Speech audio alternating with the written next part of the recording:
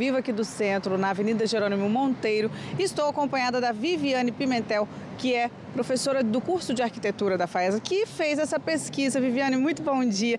Me conta como é que foi esse trabalho que vocês fizeram para chegar, né? 217 imóveis abandonados só aqui no centro?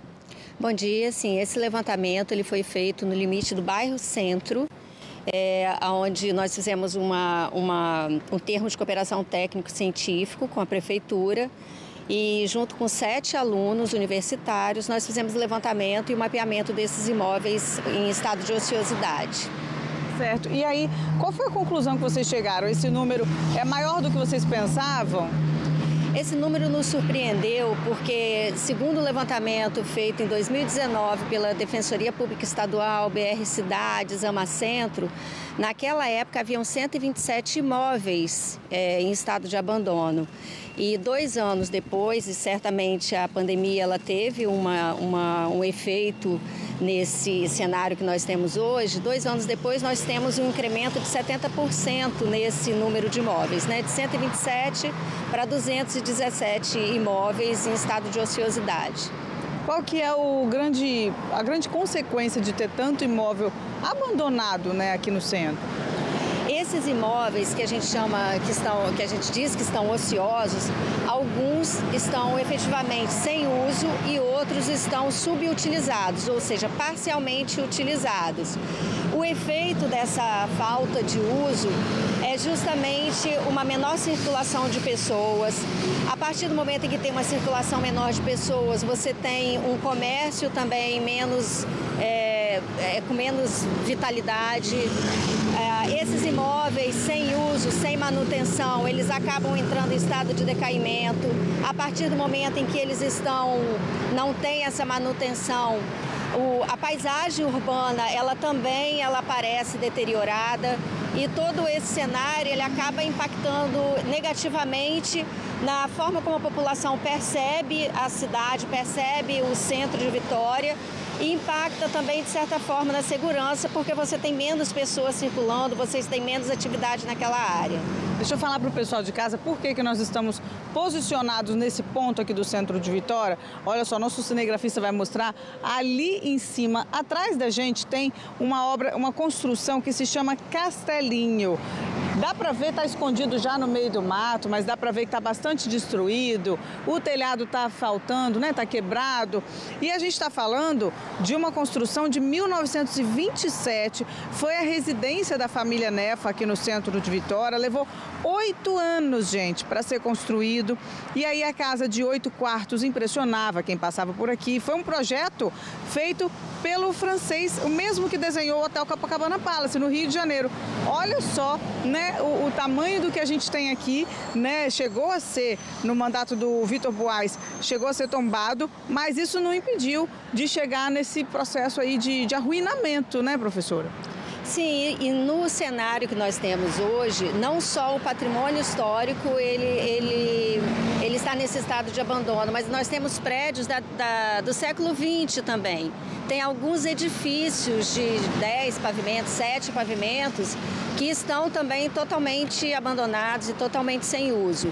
Então esse cenário ele vai impactar não só o patrimônio histórico aqui do centro, mas também construções que são mais recentes, que não são tombadas, é, mas que também integram o centro de Vitória e a nossa paisagem urbana. Certo, vocês fizeram essa pesquisa junto com a prefeitura, né? Qual foi a posição da prefeitura diante das informações que vocês é, obtiveram? É, o que nós esperamos e o que a prefeitura, é, a prefeitura se coloca como um parceiro no sentido de que ela irá aproveitar esse levantamento para iniciar projetos de requalificação do centro de Vitória. Então a nossa expectativa é que esse mapeamento ele seja um subsídio, ele dê base para que a prefeitura efetivamente utilize é, esse, esse mapeamento para que ele possa gerar novos projetos aqui para o centro, é, sempre obviamente em contato com a AMA Centro, com os moradores, com os comerciantes locais. Tá certo. Muito obrigada, professora Viviane. Agora, a nossa produção, é claro, fez contato com a Prefeitura de Vitória para saber o que, que tem a ser dito sobre essas obras, né? Aproveitando que eu estou na frente do Castelinho, a gente perguntou. A Prefeitura disse que a Secretaria de Desenvolvimento da Cidade e Habitação notificou e multou o proprietário do imóvel e também que desenvolve e fiscaliza é, edificações. Então, a gente não conseguiu fazer contato com esse proprietário, mas a Prefeitura garante que esse proprietário foi notificado e multado. Sobre as outras obras, a Prefeitura também disse, por exemplo, o Mercado da Capixaba concluiu e apresentou o projeto de restauração. O edital vai ser publicado ainda no primeiro semestre deste ano. Eu já fiz inúmeras reportagens sobre esse mercado, parece até uma obra que um elefante branco, Dudu, que não sai do papel, mas a gente vai continuar acompanhando, né? A reforma do residencial Santa Cecília também está prevista para ser feita, inclusive vai ser um local que vai dar abrigo para 35 famílias. Então, a gente vai também acompanhar essa situação, né? A reurbanização das ruas 7 e da Gama Rosa também foi apresentado um estudo para a população, mas não tem data.